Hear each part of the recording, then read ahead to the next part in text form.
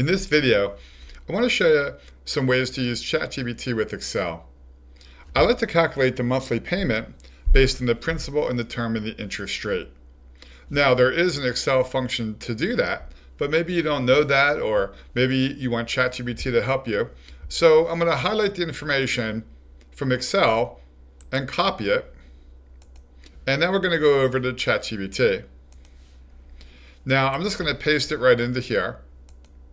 And make sure you press the Enter key to send it up to ChatGPT. Now, it'll start to uh, guess what you want to do with that information. And sometimes it guesses properly.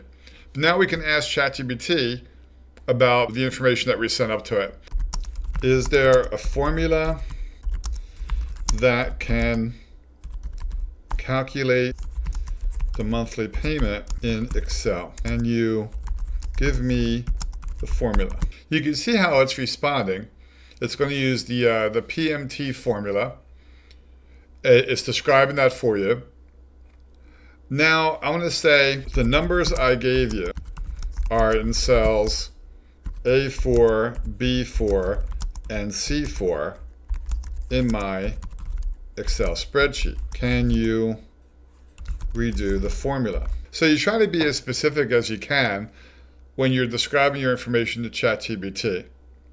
Notice how it read the formula using the cells that I gave it. Now, when it gives you this kind of coding window, you can highlight the code in the traditional way, or you might have this option to copy the code where my mouse is. I'll pick on copy code. Now we're going to go back into Excel, and we'll try it out. So I'm going to just paste it into here. And you can see how it put the formula in there and it did the calculation. So now based on that, let's say I want to have a variety of results. So I'm going to go back into ChatGPT and ask it a little bit more of a complicated situation. I'm going to say, can you use that formula to make a table where the principal amount goes from 200,000 to 600,000 in increments of 25,000 and the term goes from 15 years to 30 years in increments of five. Please make a table showing what the monthly payment would be for each combination. So you can really ask for more complicated situations. I'm just trying to give you some ideas of how to prompt ChatGPT. You want to be as specific as possible. Now, when it says it's analyzing like that, it is trying to work out the problem Sometimes it's going to take a few seconds. Sometimes it's even going to take longer than that, depending on the nature of uh, your request. Now, it did give us the results. Now, let's say I would really like to have that in Excel format. So I'm going to say, can you make that same table and put it in Excel format?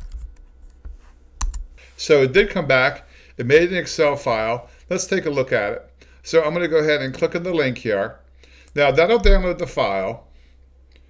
Now I'm using Google Chrome. So I'll see the file over here on the top right. But after a while, that disappears. So in my case, I'm sure I put it into my download folder or whatever your default download folder is. But it's probably the download folder. So I'm going to click on my File Explorer here. I'm going to go back to my downloads folder, and there's the file. So I'm going to double click on it. Of course, that should open up that file in Excel.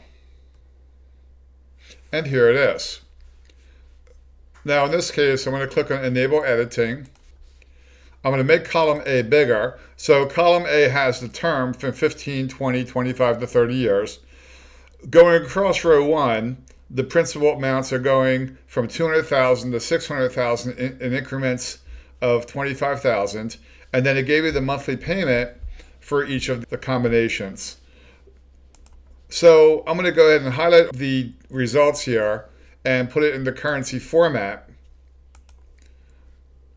So in that case, we were able to copy and paste data from Excel into ChatGPT, and then we were able to ask questions about that data. Then, based on the result that it gave me, it was able to make this table, and then it put that table in Excel format. So those are a couple ways to use ChatGPT with Excel. Thank you for watching. Please subscribe to my channel and like and share the video. Please visit www.pcwebinars.com for live webinars that are available to the public, private webinars or on-site training for you or your group, recorded courses. You can reach me at tom at pcwebinars.com or at 215-280-1073. Thank you again.